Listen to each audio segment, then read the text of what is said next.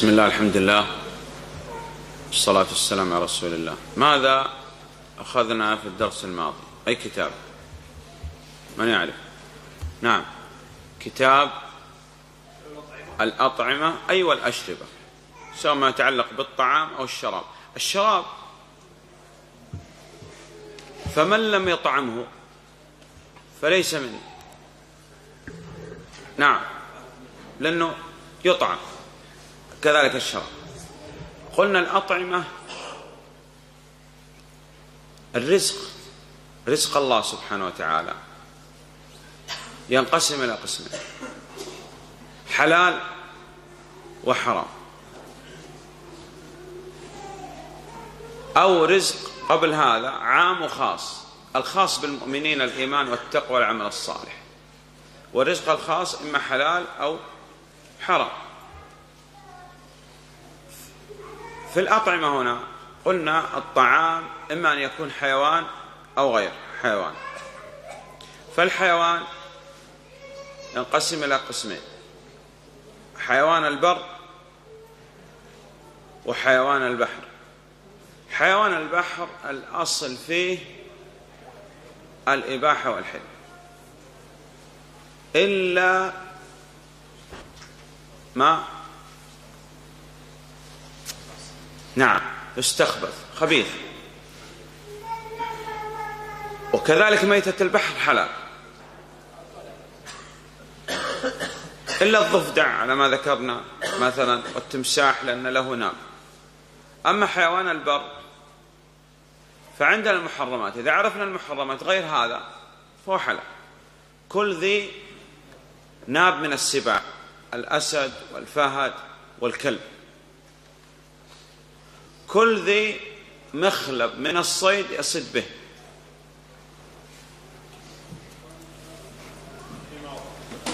كل ذي مخلب من الطير يصيد به كالصقر مثلا. نعم. والنسر. الثالث ما أمر بقتله أو نهي عن قتله. ما أمر بقتله. الحية. والعقرب والفأر. ما نهي عن قتله. النملة والنحلة مثلا والهدهد والسرد. ما نص عليه الحمار الأهلي. خرج بهذا الحمار الوحشي المخطط. كذلك ما كان مستخبث خبيث كالجلالة التي تأكل الخبائث ولا تأكل الطيبات. يعني غالب الطعام لها هو الخبيث للطيب. وغير هذا حلال. الأنعام إبل وبقر وغنم والدجاج والخيل والأرانب والغزلان والضبع والضب والحمار الوحش. صحيح؟ أي نعم. طيب. أما الأشربة فالأصل في الحل. إلا ما كان مضر أو مسكر. مضر السم. مسكر خمر. نسأل الله السلامة والعافية. آداب الأكل والشرب. التسمية عند البدع ويحمد الله عند الفراغ. الأكل باليمين وجوبا. ويأكل مما يليه. يأكل من الأطراف ولا يأكل من الوسط. إلا إذا كان الطعام أنواع. مثل ما يصنع. إخواننا جزاهم الله خير. يعني يصنع لنا صحن فيه سلطة. أنواع كثيرة. هل يصح أن آخذ من النوع الآخر؟ نعم لا إشكال.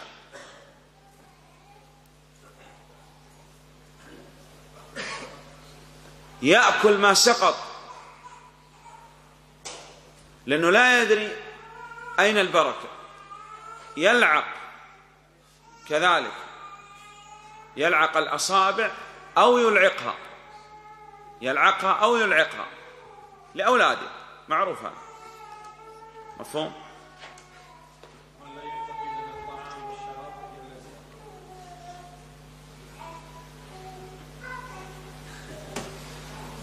هذه الحبات الرز التي تسقط أحيانا سئل عنها الشيخ بن باز رحمه الله تعالى. ترمى؟ قال لا ترمى. قال ماذا أصنع؟ قال اتق الله. حبات الرز قطع الخبز محاسب أنت عنها. وغيره؟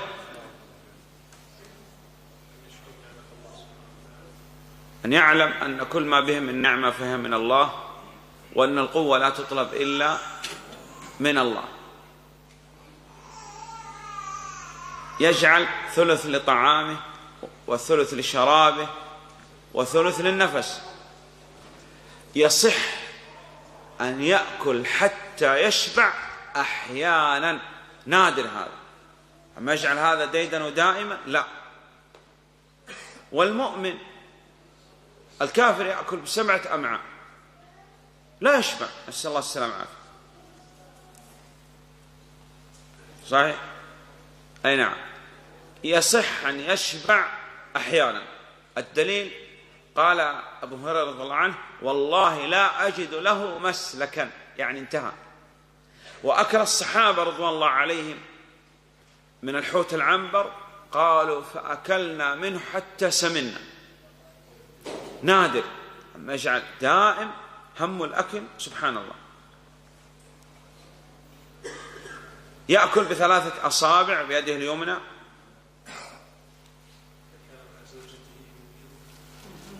أجلس.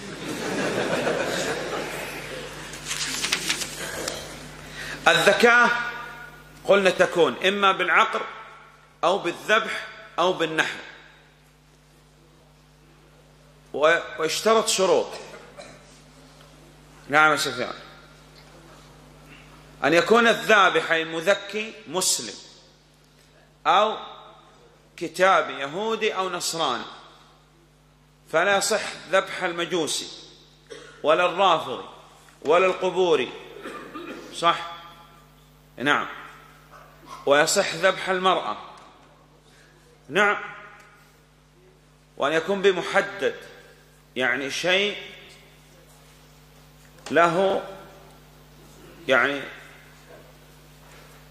يستطيع القطع بسرعة. السكين.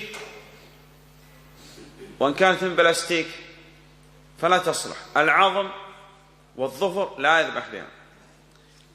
أن ينهر الدم لابد من خروج الدم يقطع المري والحلقوم والوجين وكذلك يذكر اسم الله. وإن نسي التسمية نسي بسم الله فهذه ميتة. ويقول الله أكبر استحبابا.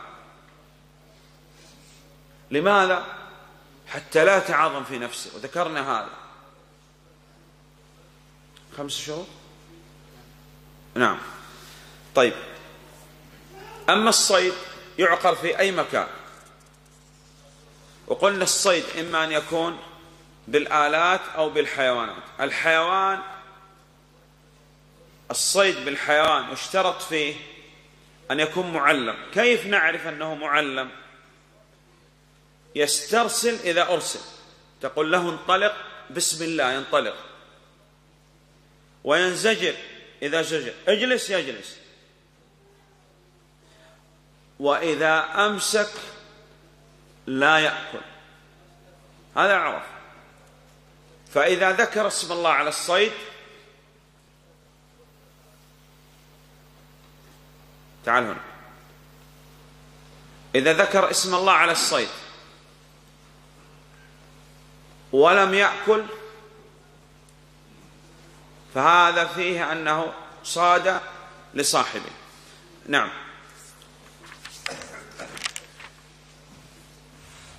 الأيمان والنذور.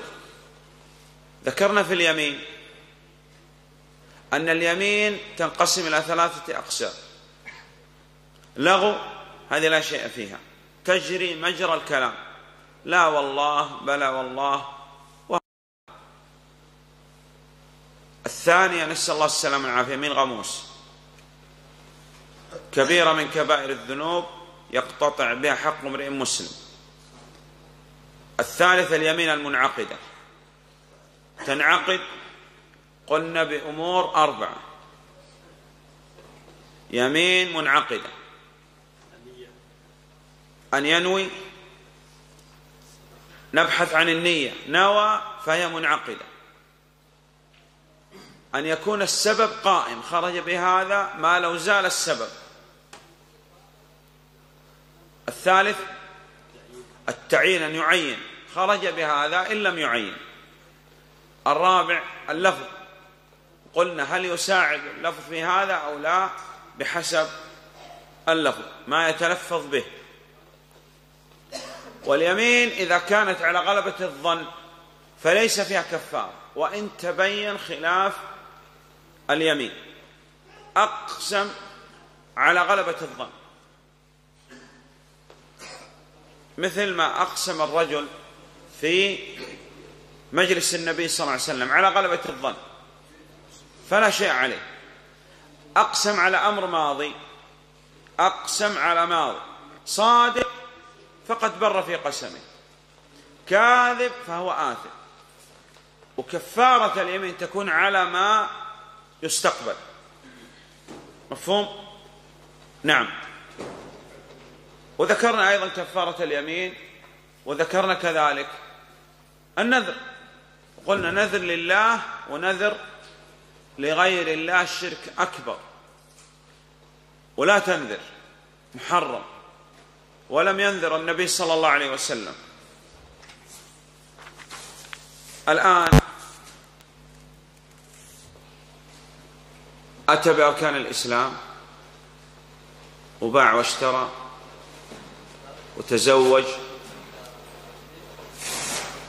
ثم حصل بعد هذا طلاق وخلع واعتدت المرأة وأكل وشرب.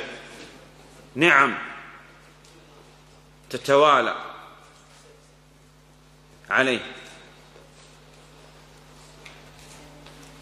كلا إن الإنسان ليطغى أن رآه استغنى.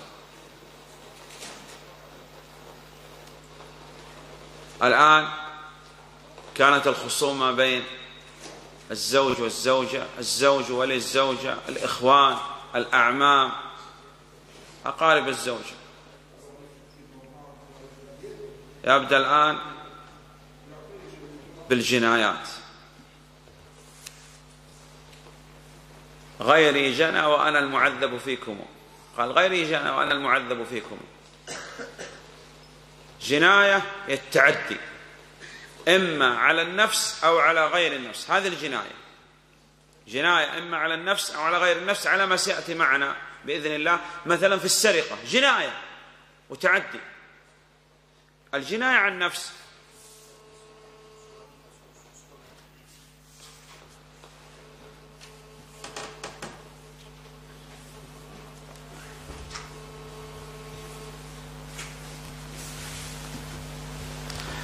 جناية على النفس. جناية على النفس. يقول أقسام القتل ثلاثة. قتل عمد وقتل شبه عمد وقتل خطأ. عمد وشبه عمد وخطأ.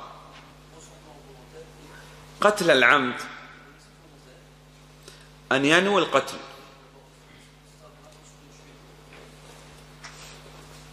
أن يأتي بآلة تقتل في الغالب.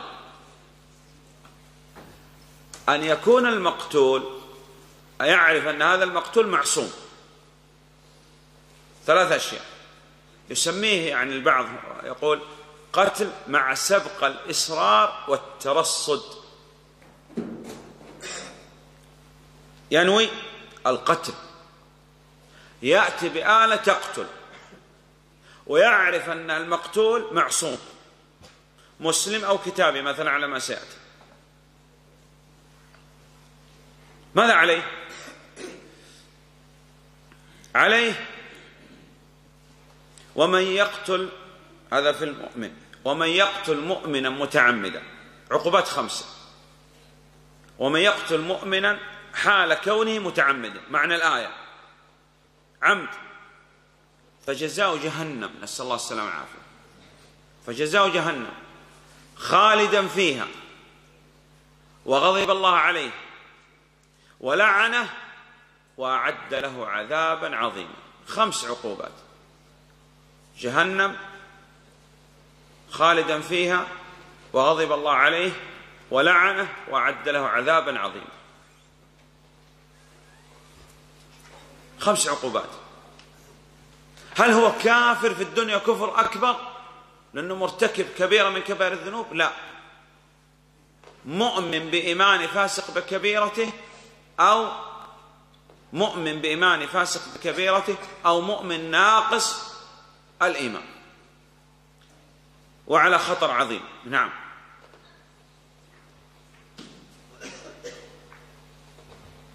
لابد أن يتوب بشروط التوبة. هذا ما يتعلق بحق الله. يبقى معنا حق عندنا حقوق ثلاثة. تتعلق بالقاتل. كم حق؟ ثلاث حقوق. حق لله يستغفر ويتوب.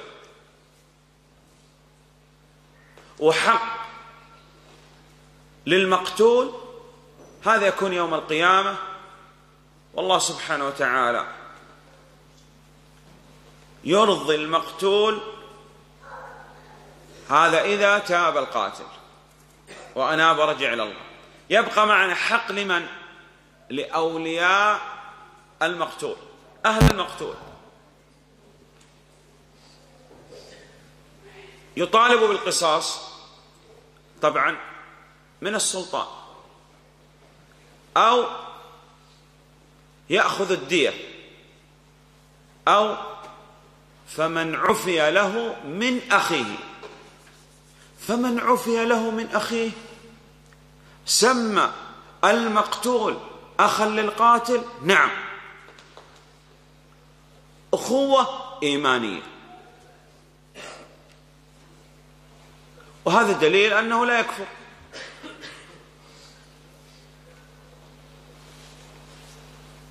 إما المطالبة بالقصاص من السلطان أو الدية أو العفو بالمجان. عفونا عنك. مفهوم؟ هذا القتل العمد. ينوي آلة تقتل. يأخذ مسدس. سيف. مثلا. آلة تقتل. حجر كبير. صخرة. ها؟ ويرض بها رأس المقتول. تقتل أم لا؟ هي تقتل.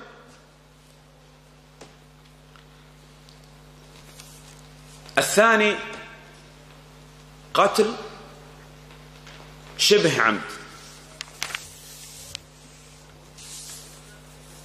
الآلة هنا ليست آلة تقتل غالبا. وهو لا ينوي القتل في الأصل. ينوي التعدي عليه نعم. لكن لم ينوي القتل. أو الآلة لا تقتل في الغالب. مفهوم؟ إذا ينوي التعدي عليه إلا القتل.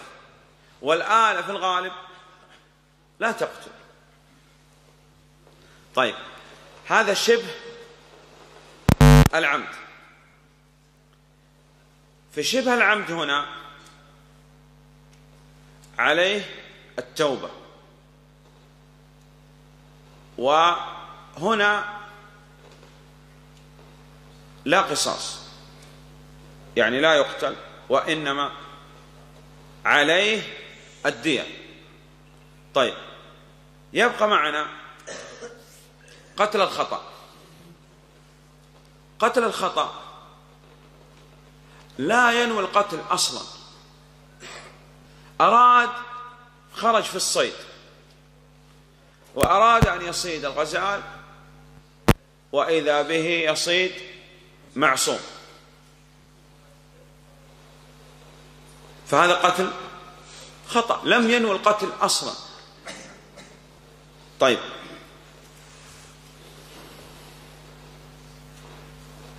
بعد هذا ذكر المؤلف الديات. الدية في النفس إذا قتل معصوم ففيه مئة من الإبل. مفهوم؟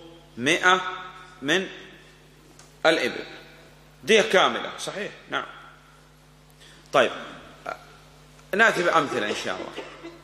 كل ما في الجسم كل ما في الجسم منه شيء واحد ففيه دية كاملة. كل ما في الجسم. فيه منه شيء واحد ففيه دية كاملة. من يعرف؟ أشياء في الجسم واحدة واثنين وأربعة و خمسة ما يوجد. وعشرة وأكثر. من يعرف؟ فقط. سبحان يا إخواننا أنا أسأل عن الجسم الآن. سبحان الله. بسم الله. نعم. أشياء يكون في الجسم منها شيء واحد. اصبر معي. العقل. كم عقل عندك؟ الحمد لله. لو تعدى إنسان على آخر وصار مجنون اذا هذا فيه دية واحد. العقل والشم شيء واحد. يعني تعدى عليه حتى أصبح لا يشم.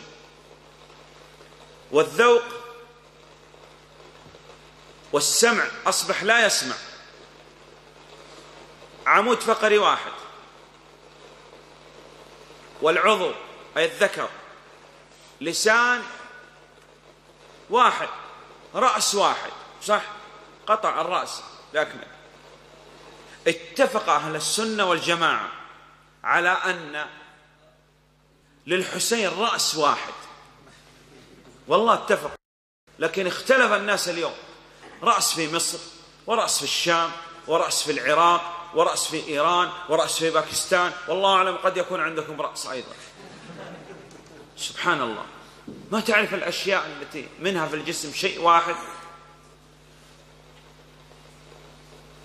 والبصر كذلك. تعدى عليه حتى صار أعمى لا يبصر. هذا هذه أشياء في الجسم يكون فيها شيء واحد قلب مثلا.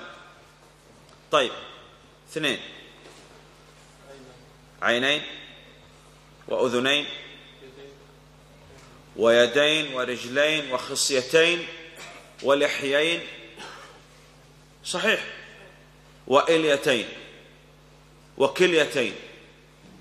صحيح؟ طيب. في العين الواحدة كم؟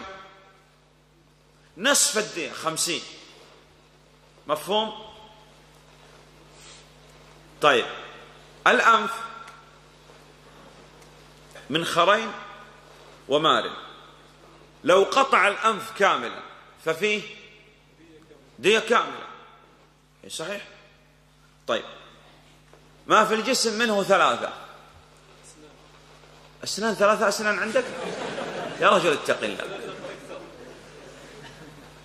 أربعة.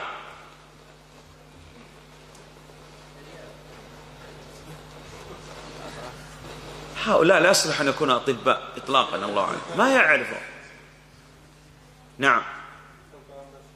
في أربعة. أي هذه نعم. واحد اثنين ثلاثة أربعة. تمام. أربعة خمسة. هذا اللي يقول أصابع خمسة هذا ليس بإنسان. كم إصبع عندك يا أخي؟ يا رجل اتق الله. عند الإنسان كم إصبع؟ عشرة. هذه أصابع اليدين. وعشرة أصابع رجلين. مفهوم؟ ففي الإصبع الواحد كم؟ يا أخواننا لا أحد يتكلم. عشرة من الإبل. في اثنين؟ استغفر الله. إصبعين. عشرين. ثلاثة أصابع. ثلاثين. أربعة خمسة أصابع. ستة سبعة ثمانية تسعة عشر أصابع في هدية كاملة. مئة من الإبل. مفهوم؟ طيب. في أكثر من عشرة؟ نعم. أسنان. كم سن؟ أضراس أنياب أسنان. كم؟ الجميع. الله يفتح عليك. 32 سن. كل سن بخمسة من الإبل. المجموع. ما حد يتكلم. يا أخي خمسة في ثلاثين مئة وخمسين. وخمسة وخمسة عشرة. مئة وستين. إذن الأسنان كلها فيها مئة وستين من الإبل. مفهوم؟ طيب سن ناب ضرس كل واحد خمسة من الإبل. مفهوم؟ هداك الله يا شيخ. عرفت العدد الآن؟ من جديد. إذا فيه في الجسم منه شيء واحد ففيه دية كاملة. النفس والسمع والبصر والشم والذوق والعقل مفهوم؟ لأنه قد يضرب إنسان هذا. ما شاء الله. تعدى على الإنسان. أخذوه إلى المشفى إلى المستشفى. ذهب عقله صار لا يبصر ولا يسمع وانكسر العمود الفقري. كم يدفع له أربعمائة بعير. أربعمائة من الإبل. فهذا يقول لو قتلت كان أحسن.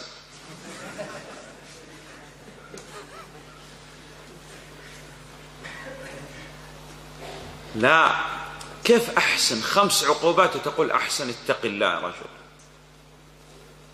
صح؟ نعم. ليس بأحسن. أحسن عند الجاهل مو عند العالم. أنا أعطيك مثال أحسن من هذا الآن. اسمع. دية المرأة على النصف من دية الرجل. دية المرأة على النصف من دية الرجل ما لم تبلغ الثلث. مرة أخرى. دية المرأة على النصف من دية الرجل. ما لم تبلغ الثلث.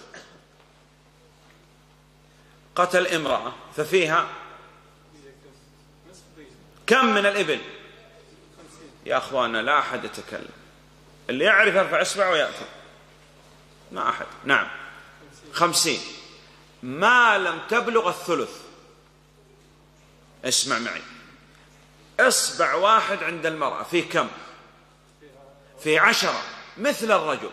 فإذا جاوزت الثلث على النصف إصبع عشرة إصبعين ثلاثة. ثلاثين. أربعة. كم؟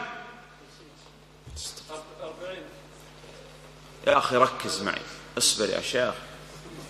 أربعة. جاوزت الثلث الآن. كم في أربع أصابع بالنسبة للمرأة؟ عشرين. فتح الله عليك. جاوزت الثلث نصف. مفهوم؟ مرة أخرى. عقل المرأة. خمسين من الإبل. قل هكذا أحسن. طيب اصبع واحد من أصابع المرأة. عشرة اثنان ثلاثة أربعة عشرين خمسة. ما أحد يتكلم. خمسة وعشرين. طيب معلش تحمل. أصبر. أنت اللي تحسب وهذا الذي يجني. هذا الأخ هدانا الله إياه. قطع ثلاث أصابع لمرأة. كم؟ ثلاث أصابع فيها ثلاثين. عندما انتبه. عندما خرج جابوا الحارث. قال ماذا صنعت؟ قال قطعت ثلاث أصابع. قال ارجع اقطع الرابع حتى تكون عشرين. راجع وقطع الرابع. ماذا نصنع؟ عشرين؟ نقول لا. في الأول لعل القطع الأول كان شبه عمد. صح؟ فعليك ثلاثين من الإبل. والأخير عمد نقطع لك إصبع. فضع إصبع ودفع ثلاثين من الإبل.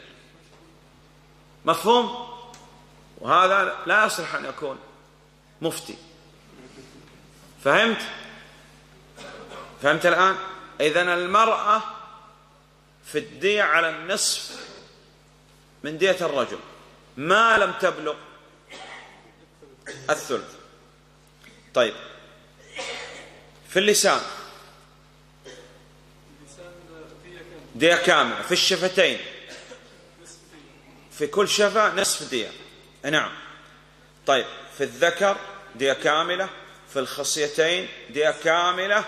نصف خصية واحدة نصف طيب في العمود الفقري الصلب دية كاملة في العينين الرجل الواحدة نصف الدية. هناك تعدي على الرأس يسمى في الرأس تسمى ما؟ شج النبي صلى الله عليه وسلم شج هذه في الرأس.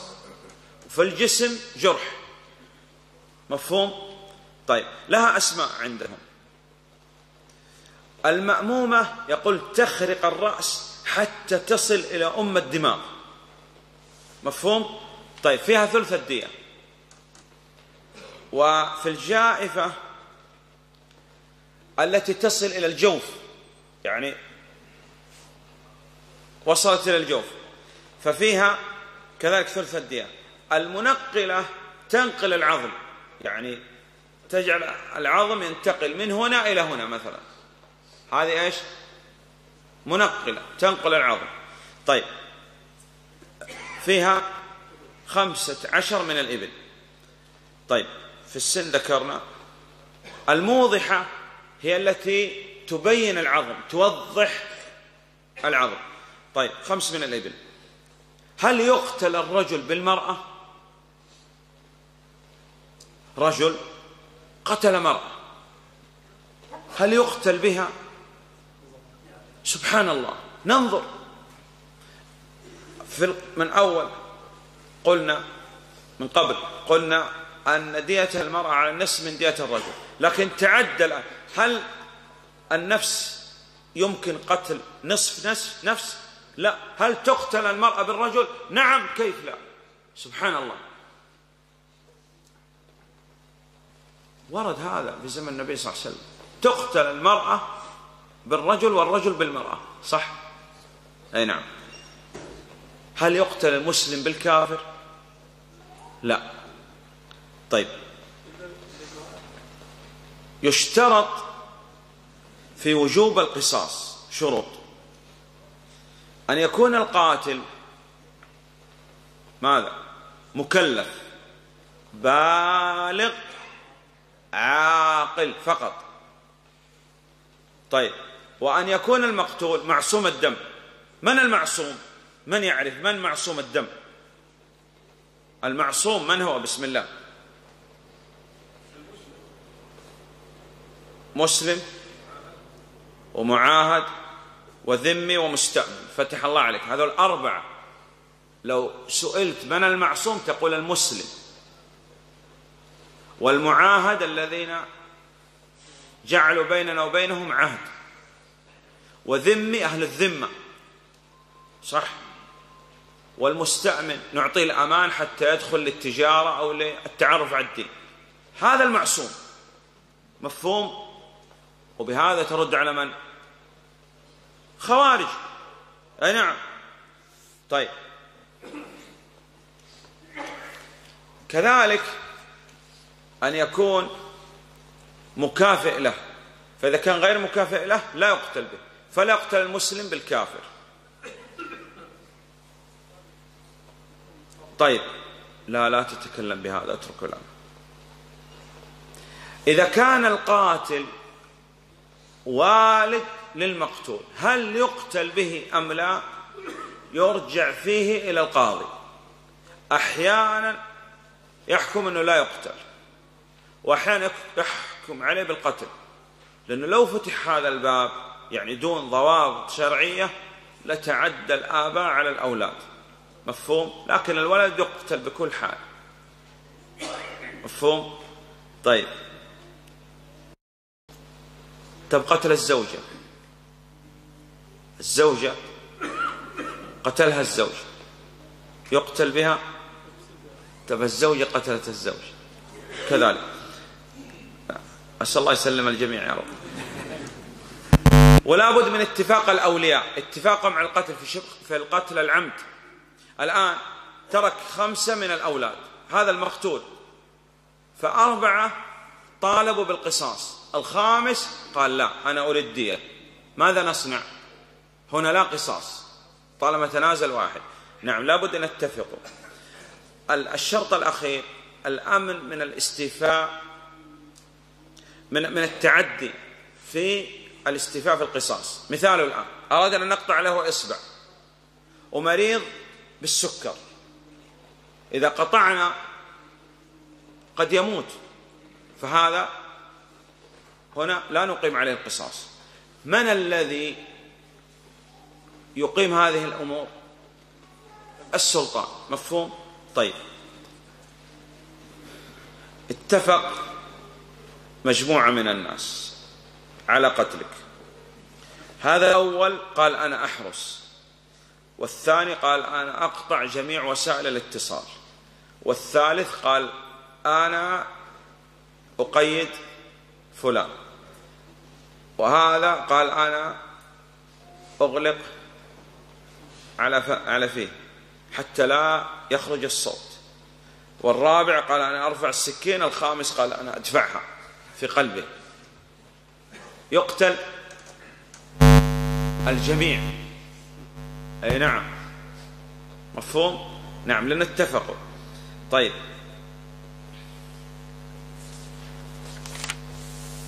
كتاب آه، بعد أن ذكر الجنايات أراد أن يبين أن الله سبحانه وتعالى حد حدود.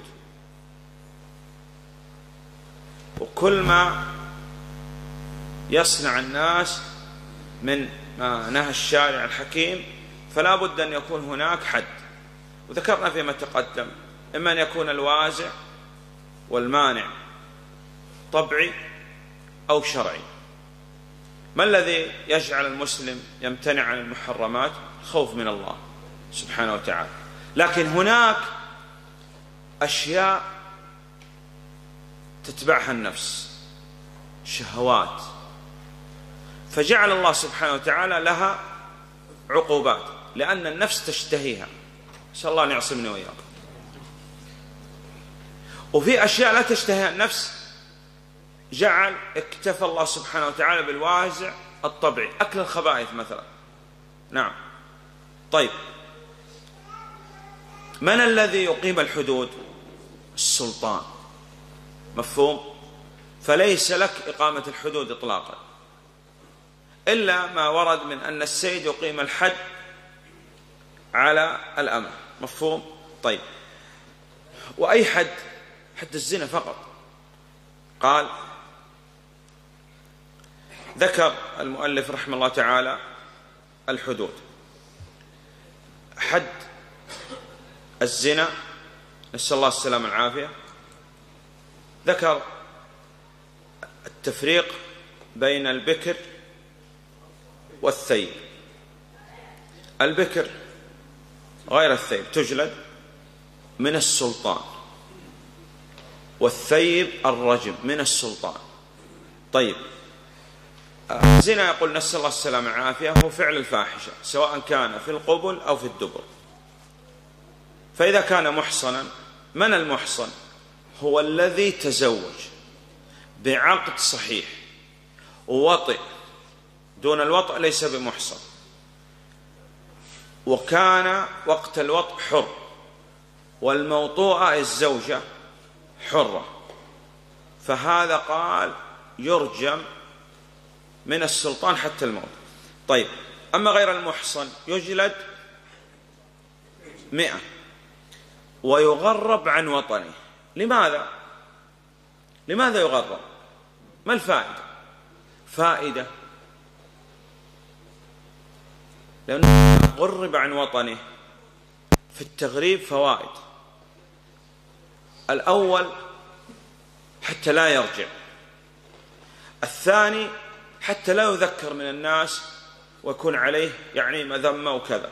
ويتوب بإذن الله. مفهوم؟ طيب. حتى المرأة تغرب نعم. تغرب عند من؟ أو مع من؟ لابد تغرب مع من يحفظ هذه المرأة محارمها. نعم. طيب. كيف يكون؟ يكون بالإقرار أو بإقامة شهود أربعة. نعم. عدول يصرحون بالشهادة. طيب. آه، حد القذف. يقذف رجل أو مرأة من المسلمين بالزنا. نسأل الله السلامة والعافية. قذف أو شهد عليه دون أن يكتمل الشهود الأربعة مفهوم؟ فلو شهد ثلاثة على إنسان مسلم نقيم عليهم الحد ثمانين جلدة. نعم. طيب. قذف غير المحصن فيه التعزير. إذا قال الفقهاء التعزير عقوبة يقدرها القاضي أو السلطان لكن ما تصل إلى الحد. يعني مثال الآن قذف غير المحصن قذف عبد مثلا أو قذف إنسان غير محصن فهذا يعزر السلطان. يعني ما يمكن أن يعزر بكم بثمانين جلدة. طيب. التعزير قال يكون في كل معصية لا يجب فيها حد من حدود الله. السرقة أن يسرق شيء له قيمة. ربع دينار فصاعدا من مكان؟ حريز الحرز ما هو الحرز كل ما عده الناس أنه في حفظ وفي حرز فهو حرز وقلنا مثلنا بالأمس بالأسواق الشعبية. الأسواق الشعبية الآن يضع الناس البضائع وتغطى بخرقة أحيانا. أي نعم هذه حرز نعم.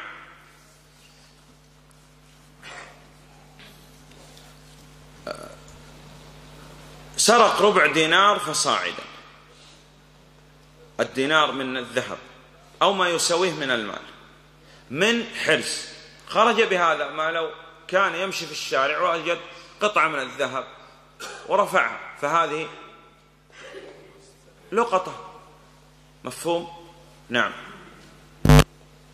وكل ما أتى ولم يحدد بالشرع كالحرز فبالعرف احددي وكل ما أتى وكل ما أتى يعني في الشرع ولم يحدد لم يجعل له الشارع حد معلوم ترجع فيه إلى العرف.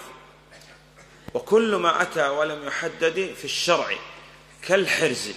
هذا الحرز المحفوظ. بماذا نعرف الحرز؟ لم يأتينا في الشرع. نرجع فيه إلى العرف. فبالعرف احددي نعم. طيب. السارق سرق ربع دينار من الذهب أو ما يسويه من المال. من مكان فيما يرى الناس أنه حرز تقطع نسأل الله السلامة والعافية يده اليمنى اليد من مفصل الكف. مفهوم؟ طيب. وتحسم يعني حتى لا يصل الدم ويموت. بالوسائل الحديثة أو القديمة لا إشكال. فإن عاد قطعت الرجل اليسرى. تقطع الرجل اليسرى. من أين؟ تعرف؟ إذا قطعت من الكعب لا يمشي. ما يستطيع المشي. فماذا نصنع؟ القطع يكون في مقدمة القدم ويبقى له المؤخرة حتى يمشي عليها. فإن عاد. لا. الرجل كيف؟ ما يستطيع المشي بعد هذا. حبس. اليد اليمنى فإن عادت رجل اليسرى فإن عاد حبس. يسجد. مفهوم؟ طيب. اجلس. يقول لا يقطع غير يد واحدة ورجل. نعم. حد الحرابة. من هم؟ هم الذين يخرجون على الناس ويقطعون الطريق ويقوموا بنهب وقتل والسرقة إذا قطعوا الطريق وخوفوا الناس وسرقوا وقتلوا. ماذا نصنع فيهم؟ إنما جزاء الذين يحاربون الله ورسوله ويسعون في الأرض فسادا أن يقتلوا. إذا قطعوا الطريق وقتلوا وسرقوا. ماذا نصنع فيهم؟ قتل ويصلب مفهوم؟ طيب. وإن قطعوا الطريق فقط دون. إذا قطعوا الطريق مع مع مع السرقة والنهب. تقطع أيديهم وأرجلهم وينفوا من الأرض. طيب. وإذا كانوا فقط قطعوا الطريق ما لا عليهم. ينفوا من الأرض. طيب. فمن قتل؟ وأخذ مال قتل ثم بعد هذا صلب. ومن قتل فقط ولم يأخذ مال هذا قتل. ومن أخذ مالا قطعت يده اليمنى ورجله اليسرى على ما قلنا. ومن أخاف الناس فقط نفي من الأرض. طيب من هم البغاة؟ البغاة هم الذين يخرجون على السلطان. بشبهة. يخرجون ولهم غلبة وقوة يخرجون على السلطان بشبهة خوارج. أناس لهم غلبة وقوة يخرجون على السلطان بشبهة. ماذا يجب على السلطان؟ يجب على السلطان أن يناصحهم. رجعوا تركهم. أصروا وعاندوا بعد المناصحة استعان بالله وقاتلهم لكن قتال هؤلاء مسلمين أو كفار؟ مسلمين. ما الدليل؟ ما الدليل؟ إذا قلت ما الدليل قال الله قال رسوله عليه الصلاة والسلام البغاة هم قوم وجماعة من الناس لهم قوة وغلبة يخرجون على السلطان بشبهة. فإذا خرجوا وجب على السلطان مناصحتهم. فإن أبوا استعان بالله وقاتلهم. فإن ثم قال إنما المؤمنون إخوة. إخوة. نعم. طيب. لكن في قتال هؤلاء البغاة جرح واحد منهم وسقط. هل نجهز عليه؟ ونقتله؟ لا. تسبى ذراريهم؟ تؤخذ أموالهم؟ من فر منهم؟ نتركه. مفهوم؟ طيب. خرج على الإمام يريد إزالة الإمام عن منصبه فهو باغي. على الإمام مراسة البغاة وإزالة ما ينقمون عليه. كما صنع الصحابة رضوان الله عليهم عندما خرج الخوارج. انتهوا. كف عنه. أبوا استعان بالله وقاتلهم وعلى الرعية معونة السلطان في قتالهم. اضطر إلى قتلهم. يقتل. ولا شيء عليه يعني لا دية طيب.